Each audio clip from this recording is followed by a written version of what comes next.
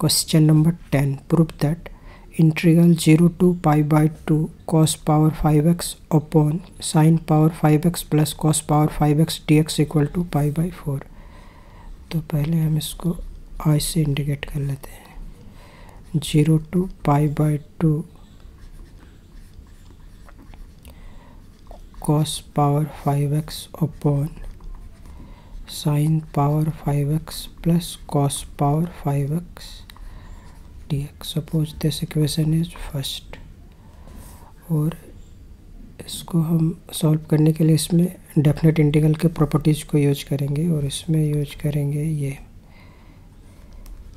zero to a f f of x d x equal to zero to a f of a minus x d x इस property को यहाँ use करेंगे।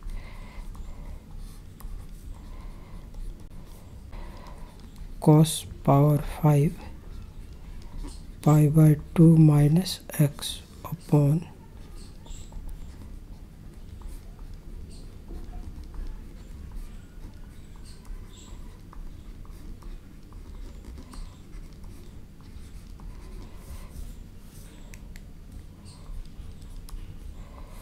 zero to pi by two.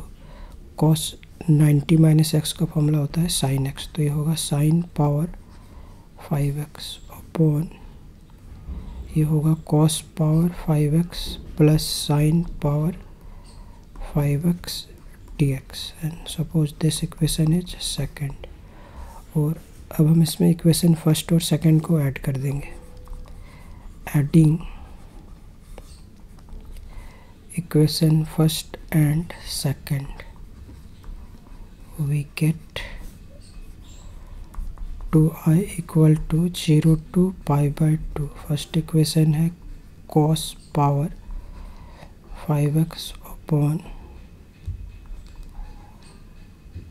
इसमें है sine power 5x plus cos power 5x है। तो इसमें हम कॉस पावर 5x को पहले लिख लेते हैं।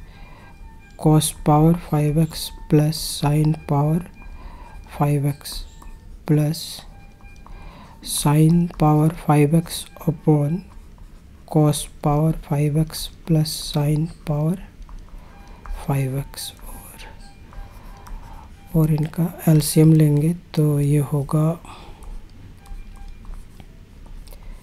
zero to pi by two cos power 5x plus sine power 5x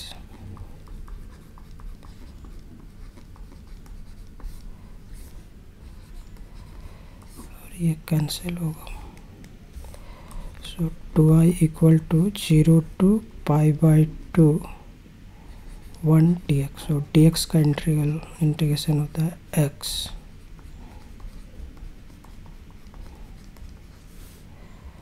so 2i equal to pi by 2 therefore i equal to pi by 4 hence proved